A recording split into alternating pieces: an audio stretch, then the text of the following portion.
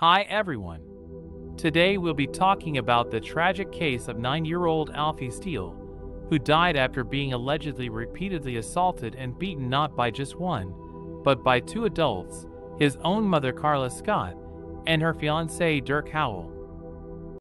Alfie had 50 injuries on his body when he was found lifeless in a bath at home in Droitwich on February 18, 2021. The prosecutor Michelle Heeley stated in court that Alfie was made to endure a life that no child should lead, and that he was deliberately and repeatedly assaulted, beaten, and held under cold water.